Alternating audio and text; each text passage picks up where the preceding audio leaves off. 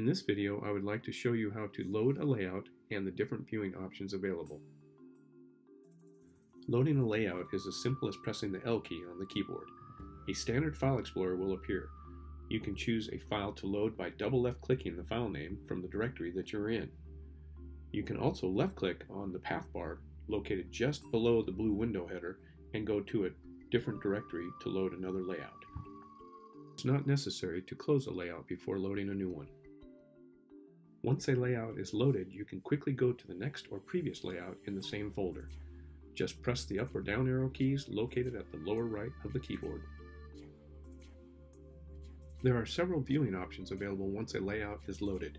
You can flip the layout vertically by pressing the V key or flip it horizontally by pressing the H key. This is a very handy feature for people who have tight space in a particular part of the room. You can also blank the layout from view by pressing the B key. Just press it again to return to the layout.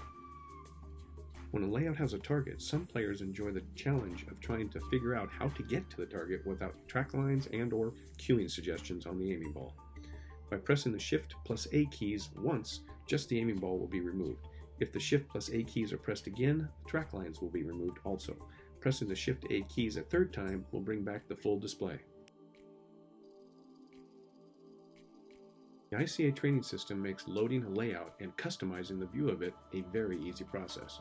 Many of these loading and viewing options are also available through the iCATS menu system.